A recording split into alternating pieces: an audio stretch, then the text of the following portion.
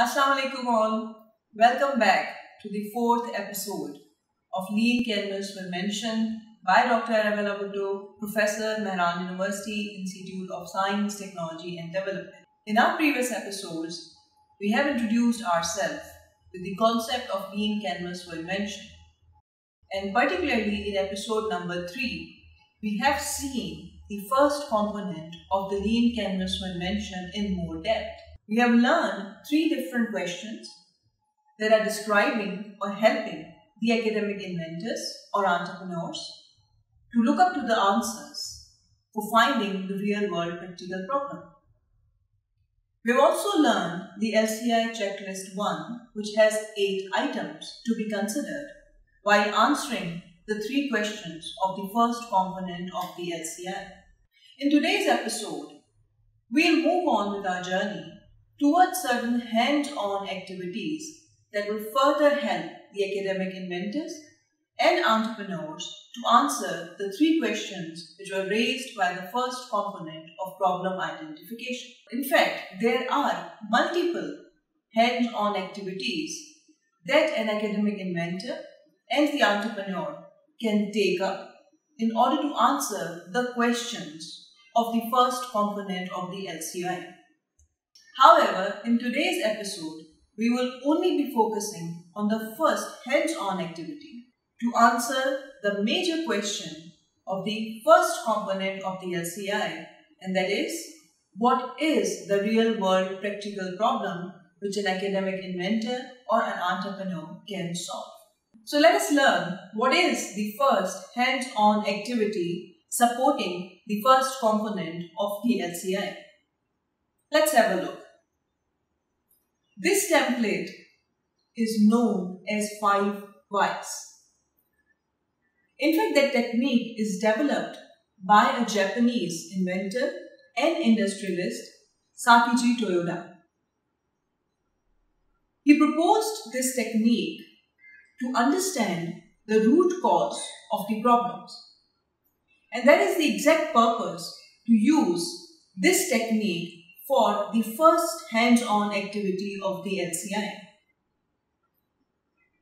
Well, it has been observed that if we do not understand the problem in depth, the solution that we will design may only treat a symptom rather than treating a problem. And if that is an issue, the invention that we are intending to bring after understanding the problem may not exactly solve the problem.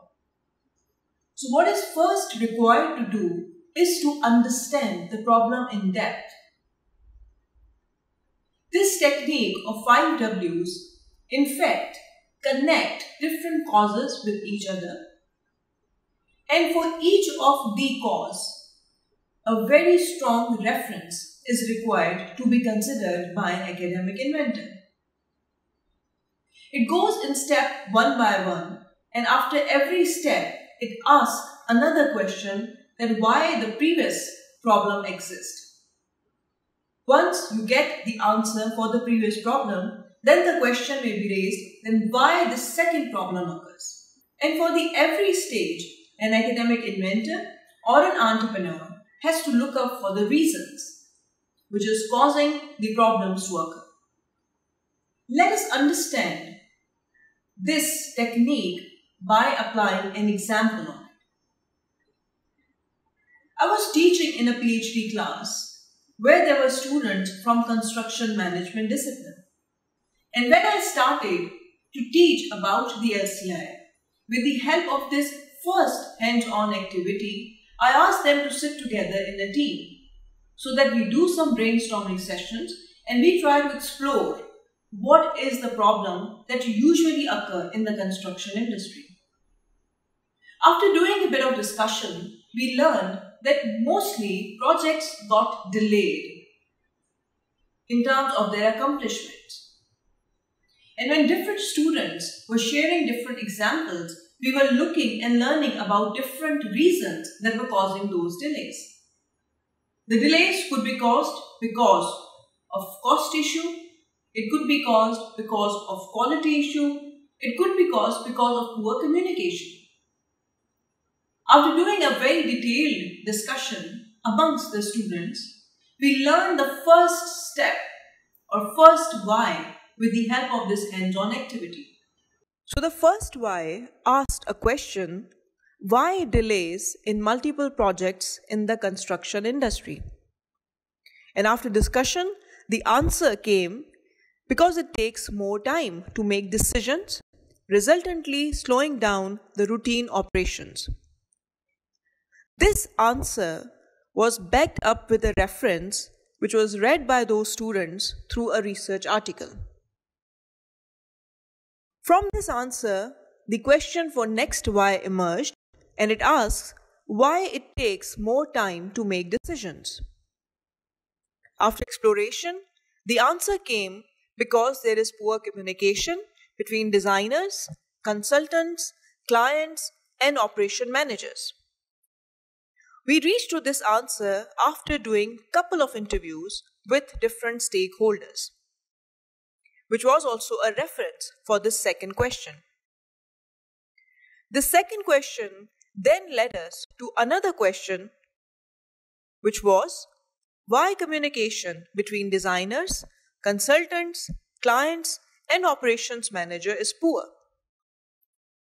Then after doing a bit of exercise, we reached to an answer that there is no automated knowledge management system developed or in practice for construction industry. This fact was also endorsed by a conference discussion that was attended by one of the students in the class. This then led to another question of why, and which was why there is no automation standard knowledge management system developed or in practice within the construction industry. The answer we reached after doing another interview with a stakeholder was the industry inhibitors influence and slow down the development and acceptance of the knowledge management system within the industry. It then followed up by a last question, which was why the industry inhibitors influence and slow down the development and acceptance of the knowledge management system within industry. So we reach to an answer that there is no standard and regulations set for knowledge sharing and for knowledge management between multiple stakeholders of the construction industry. And that was also been supported by a reference after having some conference discussions. If you see the details of all these questions that we try to answer with 5 whys exercise, we can start feeling that how important it was to understand the root cause of a problem. If an academic inventor starts developing an invention to solve the first why, then he or she may only come up with a list of different reasons that are causing delays in the project. But then when we see that we are gradually going down step by step to understand the root cause of that issue, now an academic inventor has to come up with an invention of a new knowledge management system in the construction industry which also need an endorsement from standards and regulations. So this calls upon a research in a new domain or in a new direction of creating or developing a knowledge management system. This we can also call as a research gap if we see more academically. And we've also seen that all of these five whys were endorsed by different references. And those references were coming either from research articles, they were coming from conference discussions, or they were coming from different stakeholder interviews. Now, as far as academic inventors are concerned, they are very good in reading research articles and visiting conferences. However, interacting of those academic inventors with the stakeholder is little less frequent. And for that, it is also realized that another hands-on activity is required which will lead or guide our academic inventors or even entrepreneurs to how to interact with these stakeholders and what questions one can raise while discussing the problems and their causes with the stakeholders. Well, that would be answered in episode 5 of the LCIN. For today's episode, what we have learned is the first hands-on activity which is known as 5 whys for answering the first question of the problem identification component of the essay. With this, I would like to say thank you to you and see you in episode number 5. Thank you.